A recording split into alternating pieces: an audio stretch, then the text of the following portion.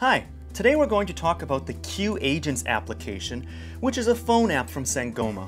Sangoma phone apps allow users to control functions and settings directly from the screen of their phone, so there's no need to remember feature codes or access the admin panel of the phone system to make simple changes.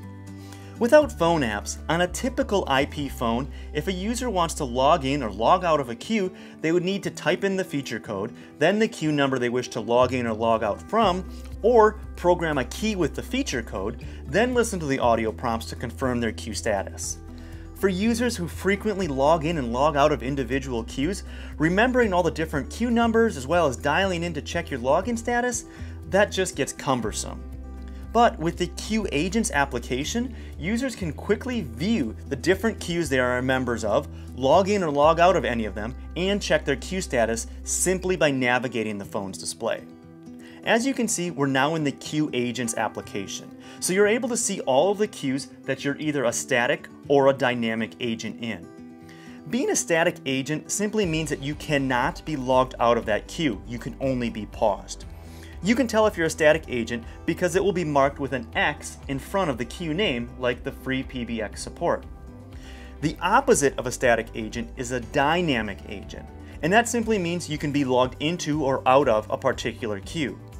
You can tell if you're logged in as a dynamic agent because you're going to see a plus sign in front of the queue name, just like it says there in engineering. If you see a queue with a minus sign, like sales, that simply means that you are not logged into that queue. And if you want to, all you have to do is you highlight it and then press the login button. Now, if you want to pause yourself in any queue, regardless if you're a static or a dynamic agent, all you have to do is highlight a particular queue and then press the pause button. You'll know you are paused in a queue if there is a P in front of it.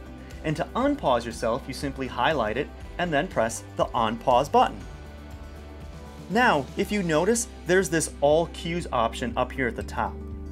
When the All Queues option is highlighted and you press either the Login Logout or the Pause Unpause button, the action will affect all of the queues. And this is helpful because it's going to save you time so you don't have to manually select each individual queue and change your status one by one. And that's the Queue Agents application. It's an easy way users can visually see all the different queues they are members of and check and change their queue status. So, thanks for watching.